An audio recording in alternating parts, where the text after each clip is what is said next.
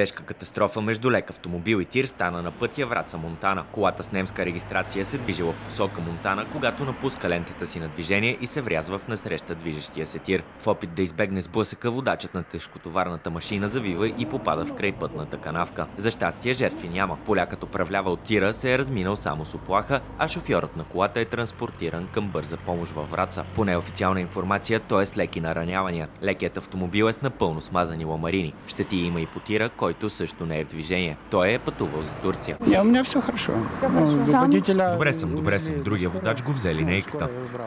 Ну, вы- он Той ми излезе на среща. Как се появи, нямам представа. Как он вышел, я не знаю, как он вышел.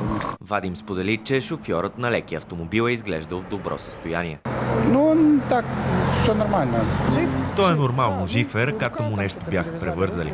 Преди малко го взели на Полякът споделя, че е шофьор с дългогодишен стаж, но пътен инцидент му се случва за първи път. Слава Богу, что он жив, здоров. Слава богу, че той е жив и здрав. Ръце, всичко му е на мястото. Ербеците при него са сработили и са го запазили. Шофьорът на лекия автомобил с германска регистрация е българин. Той е шофирал без документи за колата.